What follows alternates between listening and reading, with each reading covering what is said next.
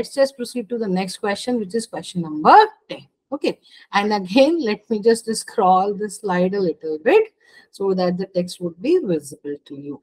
See, now I guess that is visible. See, here question number 10 belongs to the advanced math section. Okay, so that also belongs to the second module. Okay, then and the subtopic it belongs to non-linear function and the level of difficulty is just medium here. Okay, now see the question is saying the function f is defined by this thing that f of x is equals to x cube minus 10 okay now question is saying for which value of x f of x is 115 okay so one function is mentioned here so let me just write down the function here for you that it is f of x is equals to x cube minus 10 Okay, now they have already given you a value of f of x, which is 115. Now they are asking for which value it become 115. For which value of x? So see, just put down the value of f of x as 115 and solve for x. So x cube minus 10.